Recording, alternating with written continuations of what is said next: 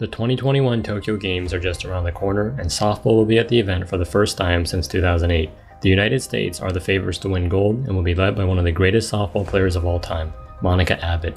During her college career with the Tennessee Lady Volunteers, Abbott posted an 0.79 ERA and set the NCAA career records in wins with 189, strikeouts with 2,440, and shutouts with 112, as well as tossing 23 no hitters and 6 perfect games.